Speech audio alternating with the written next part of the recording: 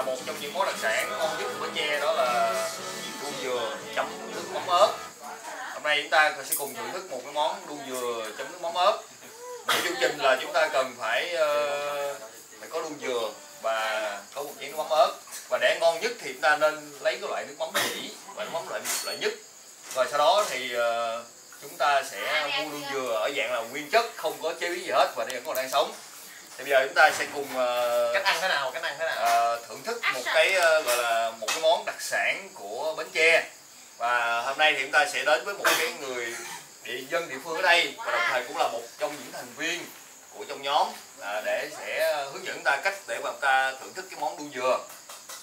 Rồi anh nguyên ăn luôn đi. Rồi bây giờ á, là chúng ta sẽ thử bằng hình thức là gắp con đuông à, bỏ gắp nước mắm. à, chúng ta sẽ thử bằng hình thức là chúng ta sẽ bỏ ba con ha vào đây để cho nó lội. Cho lội. gọi là đó đó gọi đó là cho nó quay, quay, quay, nó quay. Quay, nó quay bơi sát vào đây, quay sát vào đây. Rồi, rồi. Em em em theo cái máy ở sau lưng em rồi Rồi, nó đọc con dao qua đi rồi chỉnh ra chỉnh ra chỉnh Gì ra. Em trai.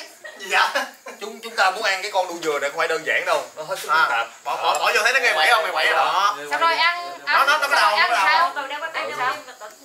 Vô nước mắm nó nhột hay nó đâu à, Qua- qua bên là cái con bên đu dừa này rất thích nước mắm bởi vì người ta mới ăn là nước mắm ờ, đu dừa chấm nước mắm là như vậy con đu dừa nó bay nó bơi trong đây thì nó nước mắm nó ngon không nha đó nước mắm ớt không à không gì hết á mắm mặn à, nước mắm Ờ, Nó có cay không?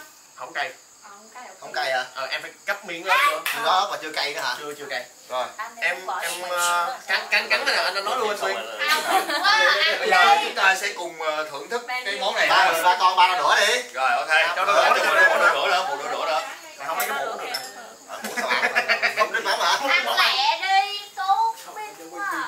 Ờ, ăn con đu dừa này phải đơn giản đó nha rất phức tạp bây giờ chúng ta mọi người chúng ta sẽ gấp con đu dừa gấp cái đầu anh gấp ngay cái đầu ha rồi chúng ta ăn làm sao để mà chúng ta chừa cái đầu ra thấy như anh nguyên gắp là anh nguyên đưa vô miệng không được rồi đó không có từ từ từ từ Nè, nè, có thế có anh nguyên gắp là đưa vô miệng gấp không gấp được gấp nó quay quẩy này nó mập như là rồi Đó, đúng rồi. rồi sao nữa rồi để mời tất cả chúng ta cùng ờ, đưa lên miệng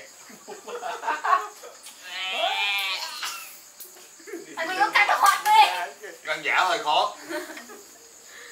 Rất ngon. Cảm giác béo lạc quả lạc. béo lạc lạc. Gấp thêm miếng ớt nữa. Ăn ớt nữa. Để em ăn cho. Nè nè nè cái đầu cái đầu của nó nè. Không đâu cắn không? nó, nó hơi cứng cứng rồi nó nằm ta cắn thì ờ, chúng ta nhớ là chừa cái đầu ra nha. Mấy người mà ra Dạ, ăn bỏ- bị dành dành đũa